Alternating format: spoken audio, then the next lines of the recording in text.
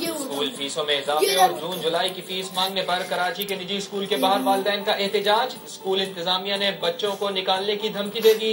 School guards और वालदेन में तल कलामी एहतजाज करने वाले वालदेन ज़बरदस्ती स्कूल में घुस गए।